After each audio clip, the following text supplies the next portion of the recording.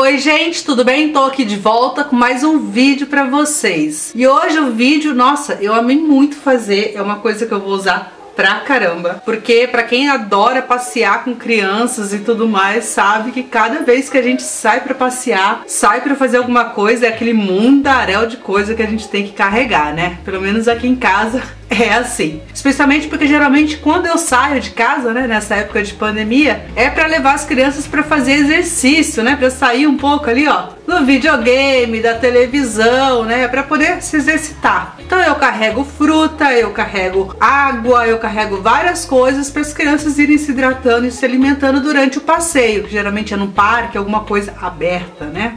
Nessas épocas a gente tem que procurar esses locais. E pensando nisso, eu achei um tutorial super legal e eu trouxe aqui para vocês, que é de uma bolsa piquenique, uma bolsa lancheira. O que seria isso? É essa bolsa aqui, deixa eu baixar a luminosidade para vocês enxergarem ela melhor.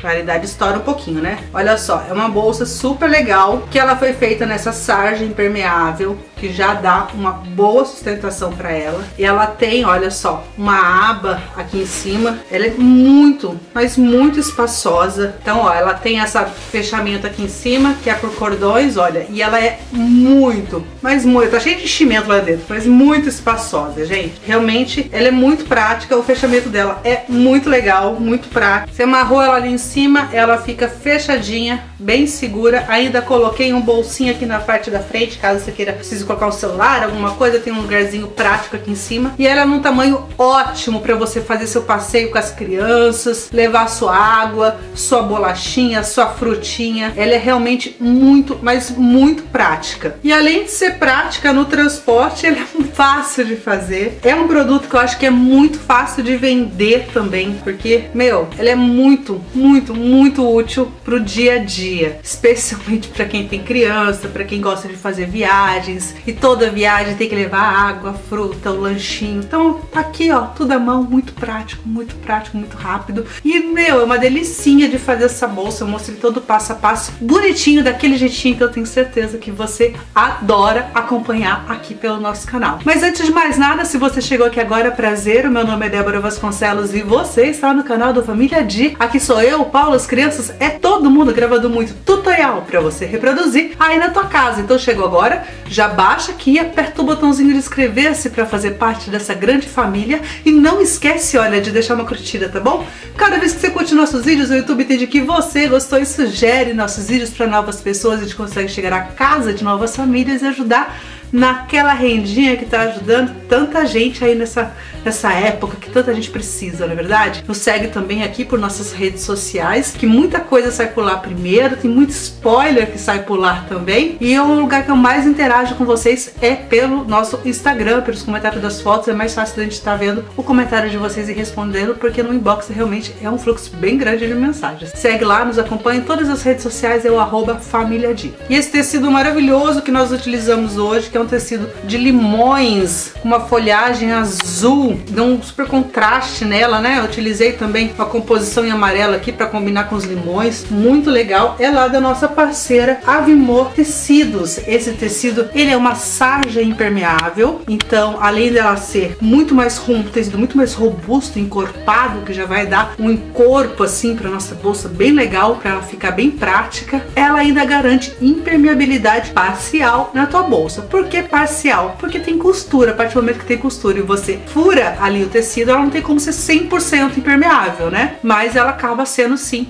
grande parte impermeável por já ser um tecido especial para isso, o que já ajuda bastante, não é verdade? Nós temos cupom de desconto da Vimor, que é o Vimor Família D, desse jeitinho que eu tô deixando para vocês aqui embaixo. Então entra na loja online, veja todas as estampas maravilhosas que eles têm por lá, coloca no seu carrinho e quando for fechar tua compra, usa o nosso cupom Avimor Família desse jeitinho que eu tô deixando aqui embaixo para vocês e garanta o seu desconto no final da sua compra, tá? Tem muito lançamento incrível deles, então dá uma corrida lá, confere que eu tenho certeza que você vai adorar compra pelo computador ou pelo celular, recebe no conforto da tua casa, que é muito melhor. As meninas lá são uns amorzinhos e vão separar tudo com muito carinho para vocês. Mas chega, eu não vou ficar aqui de muito papo não, bora então pro tutorial que ó, tá rapidinho e fácil, tá? Bora lá. Bom, vamos lá. Para começar, vamos precisar de duas alças medindo 45 centímetros por 3 de largura, tá? E eu cortei dois pedaços de tecido aqui, medindo 40 centímetros por 4,5. Se você quiser usar o mesmo tamanho da alça, você também pode. Vou fazer aqui aquela dobra viés, que é dobrando as duas laterais, encontrando ao centro, para a gente poder fazer um acabamento nessa alça, tá bom? Começo então fazendo uma dobrinha ali de mais ou menos um centímetro para dar acabamento no começo do nosso tecido. Se você for usar no mesmo comprimento da alça, não precisa. Posiciono ela ali, prendo e vou ajeitando toda a lateral do nosso tecido, deixando uma margenzinha de cada lado, tá vendo? E vou prendendo em todo o comprimento da nossa alça. Vai ajeitando e prendendo tudo. Faço o mesmo acabamento lá no final.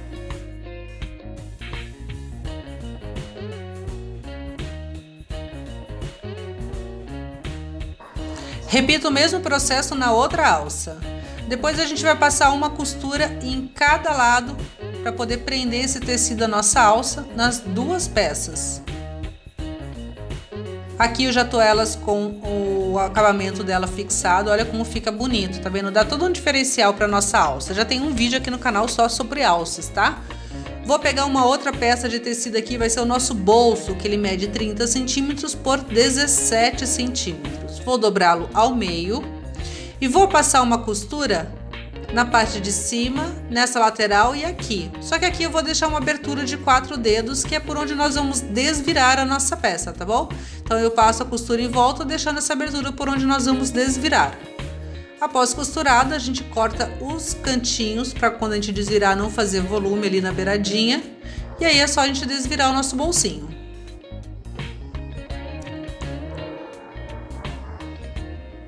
Vou aproveitar e vou passar ferro já para deixar tudo certinho. Agora nessa parte onde nós deixamos a abertura, eu vou passar duas costuras fazendo acabamento, vai ser a parte de cima do nosso bolso. Aqui eu já tô com as costuras feitas. Vou pegar agora, o nosso tecido daqui vai ser o corpo da bolsa, que mede 80 centímetros por 50 centímetros. Vou pegar a lateral que mede 50 centímetros, vou colocar pontinha com pontinha e vou marcar ali o centro da nossa peça, só vincando mesmo, tá? E vou pegar o nosso bolsinho que previamente eu já dobrei ele ao meio para também ficar com aquele vinco na parte do meio. E vou deixar um afastamento ali de 8 centímetros. Então da parte de cima até a parte de baixo eu vou deixar 8 centímetros.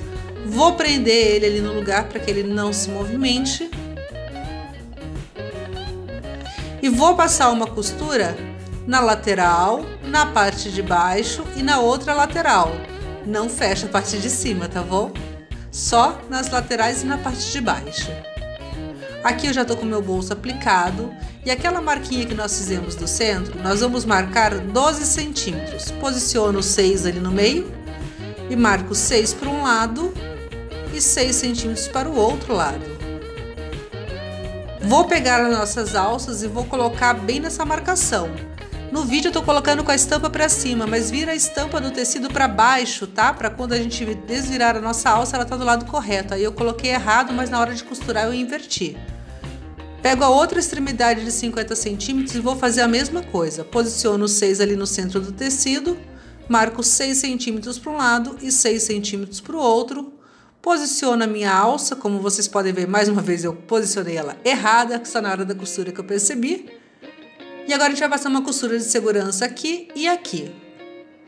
Aqui com elas costuradas, você vê que já está invertida, né? Já está no local correto com a parte lisa para cima. Eu vou ajeitar ela bem certinha ali, olha, e vou juntar as pontinhas, alinhar todo o nosso tecido e prender. Vou fazer a mesma coisa do outro lado. Alinho o tecido e prendo ele na lateral. Nós vamos passar uma costura nessa lateral e uma costura na outra lateral.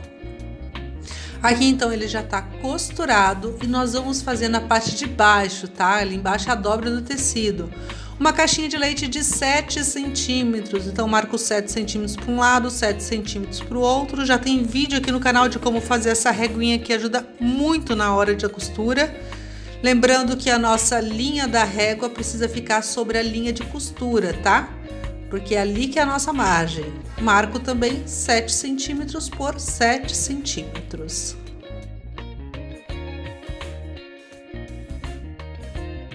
Após fazer essa marcação, é só a gente cortar esse tecido que nós marcamos.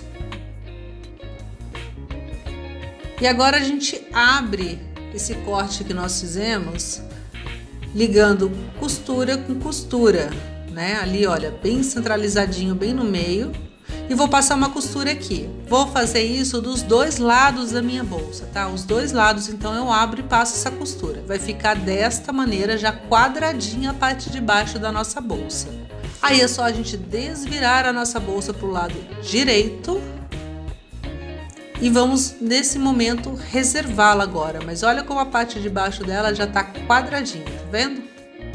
Vou pegar um outro tecido, na verdade são duas peças medindo 50 centímetros por 25 centímetros. Eu vou marcar é, o centro do lateral que tem 25 centímetros. Vou fazer uma marquinha ali para saber onde que é o centro. E vou marcar dessa vez 4 centímetros. Então vão ser 2 centímetros para um lado e 2 centímetros para o outro lado. Vou repetir o processo do outro lado. Uno pontinha com pontinha para localizar o centro e marco 4 centímetros, 2 centímetros para cada lado. Aqui a minha régua era menor que o tecido, eu acabei marcando também o centro para me auxiliar, tá bom?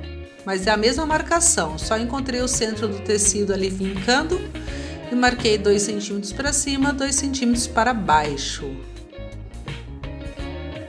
Após isso é só pegar a régua e ligar todos os pontinhos. Aqui eu estou utilizando aquela caneta que quando eu passo a ferro ela desaparece, então não tem risco do meu, do meu tecido ficar riscado. Após fazer essa marcação, a gente junta ali as laterais bem certinha, pontinha com pontinha. E nós vamos fazer uma costura nessa lateral até o risco, pulo o risco e continuo a costura. Vamos fazer isso dos dois lados. Venho com a costura, pulo o risco que a gente fez e continuo com a costura. Após essa costura perfeita, nós vamos posicionar o tecido desta maneira e abrir essa costura, tá? Então essa costura aí você pode fazer com um pezinho de máquina porque ela tem tamanho suficiente para você poder fazer isso. Não faça muito na pontinha. Vamos passar uma costura de um lado prendendo uma aba e uma costura do outro lado prendendo a outra aba. Vamos fazer isso na frente e na parte de trás. As duas a gente vai abrir a costura e passar uma, uma costura de cada lado prendendo essas abazinhas. Aqui ela já tá feita, você vai observar que ela vai ficar com um furinho na parte do meio, tá vendo? Que foi aquela parte que nós pulamos. Aí a gente passa metade do lado direito pro lado de fora, tá vendo? Fazendo esse conezinho. E a gente prende, primeira coisa, costuras com costuras. E depois a gente alinha todo o tecido, deixa bem retinho ali. Se quiser passar ferro, pode. Olha como ficou as nossas aberturas das laterais, tá vendo? Ficou bem na beiradinha ali, ó. Do outro lado também. E agora nós precisamos fazer uma marcação de 2 centímetros nesse beiral, tá bom? 2 centímetros em toda a parte. Depois de fazer as marcações, a gente com a régua liga os pontinhos passando uma reta nesse local. Novamente com a caneta que apaga. E repito o mesmo processo na parte de trás. Marco 2 centímetros e ligo com a régua.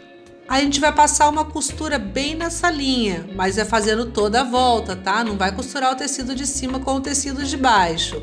É só fazer, olha só, todo o contorno bem nessa linha. Aqui eu já tô com meu tecido costurado. Ele fica ali então com uma guia pra gente, onde a gente vai passar depois os cordões. Olha só as aberturas por onde os cordões vão entrar e agora o que, que a gente vai fazer? Com essa parte costurada, voltada para baixo, eu vou vestir a minha bolsa nela e alinhar o meu tecido ali com a beirada da bolsa. Primeira coisa, a gente ajeita as laterais colocando costura com costura para dar um acabamento bem legal para nossa peça. E depois de alinhar as duas costuras, a gente vem alinhando o restante do tecido.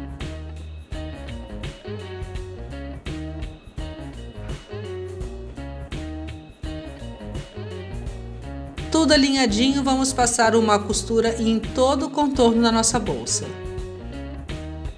Costura feita, olha só como que ela vai ficar. Nós vamos reservar ela um pouquinho. Nesse momento, vou pegar o meu tecido do forro, que mede também 80 centímetros por 50 centímetros. Dobro ele ao meio, alinho bem o tecido ali, vou passar uma costura de um lado e outra costura do outro lado. Pronto, saquinho feito, vamos fazer o mesmo processo do corpo da bolsa. Caixinha de leite no, no tamanho de 7 centímetros por 7 centímetros na parte de baixo. Riscou as caixinhas de leite, é hora da gente cortar o tecido. E novamente fazer o mesmo processo. Eu abro ali a, a abertura e passo uma costura dos dois lados. Posiciono ali certinho, bem retinho e passo uma costura. Pronto, nosso tecido do forro já está prontinho, mas o que eu esqueci foi de, em uma das laterais, deixar uma abertura, que é por onde nós vamos desvirar depois a nossa bolsa. Se a gente faz isso, depois a gente tem um trabalhão para poder desmanchar um lado da costura, tá? Então não deixa um tamanho muito pequeno não, para você depois não forçar, deixa ali mais ou menos um palmo de abertura para que a gente possa desvirar. Vou pegar lá o corpo da minha bolsa e vou encaixar a nossa bolsa dentro do forro. Observa que o direito do forro está voltado para o direito da bolsa, tá bom? E começa aquele processo de alinhar, de alinhar novamente a parte de cima. Primeira coisa, as laterais, costura com costura para ficar tudo alinhado. E depois eu ajeito as outras partes. Tudo muito preso no lugar, a gente vai passar novamente uma costura prendendo todo o contorno. Costura feita, a gente vai pegar aquela abertura que nós deixamos e começar com cuidado a desvirar a nossa bolsa, colocar ela para o lado certinho. Vai com paciência e cuidado para não forçar muito, tá bom? Feito isso, a gente vai pegar novamente aquela abertura agora para poder fechá-la, tá? Ajeita ali bem certinho o tecido e passa uma costurinha ali, fechando aquela abertura. Costura fechada, Agora nós colocamos o forro para dentro da bolsa e eu vou colocar também as abas para o lado de dentro. Vou ajeitar toda a beirada da nossa bolsa, que agora a gente vai colocar uma costura de que vai rebater aqui, tá? Dando acabamento à parte de cima em todo o contorno da nossa bolsa. Costura feita, olha só como que ela vai ficar. Bem legal, ela fica muito acabadinha e o tecido muito mais assentado, tá? O que, que nós vamos fazer agora? hora de passar os cordões aqui na parte de cima. Então eu tiro a minha aba para a parte de fora. Aqui nas laterais é onde a gente vai encaixar. E eu vou precisar de dois cordões. Aqui eu estou usando o cordão de 5 milímetros. Então são dois cordões medindo 1,20m cada cordão. Vou prender ali no meu alfinete, porque eu não sei onde que eu enfiei o meu passo elástico. E começo a passar o meu cordão ali por dentro. Quando chegar no final, eu vou sair por um buraquinho, entrar pelo outro e continuar passando esse cordão até chegar lá por onde a gente começou. Depois de passar o nosso cordão, eu vou dar um nozinho na ponta para ele não ficar desfiando. Se você quiser, você pode colocar uma contazinha de madeira aí na ponta para ficar para ficar mais bonitinho. Eu até comprei, mas não coube, então eu resolvi só dar o nozinho mesmo, mas eu achei que ficou bonitinho do mesmo jeito. Hora de passar o segundo cordão. Também prendo ali no meu alfinete. O primeiro cordão a gente passou por esse lado, o segundo a gente vai começar pelo outro lado, tá bom? Então eu pego ali no mesmo esquema do outro, só que dessa vez invertendo o lado. Começo de um lado, passo até o final, saio por um buraquinho, entro pelo outro e depois de atravessar toda a nossa canaleta, é só a gente dar um nozinho na ponta de acabamento.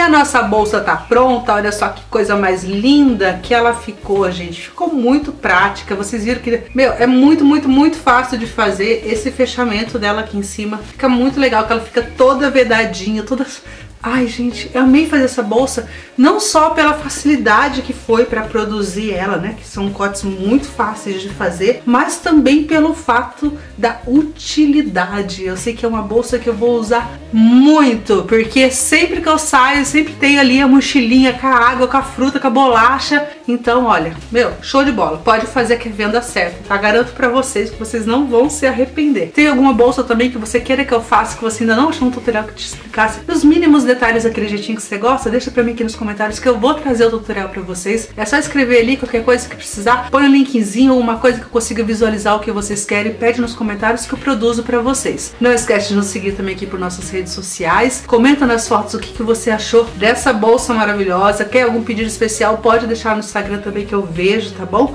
Adoro interagir com vocês e não esquece que nossos tecidos são lá da Avimor Tecidos e nós temos aquele cupomzinho de desconto que é o Avimor Família D, desse jeitinho que tá aqui embaixo. Vai lá, olha as estampas maravilhosas que tem por lá, escolhe, põe no carrinho e no final da sua compra usa nosso cupom para garantir o seu desconto no final da compra, tá bom? Vou deixando então um beijo enorme para vocês e até o próximo vídeo.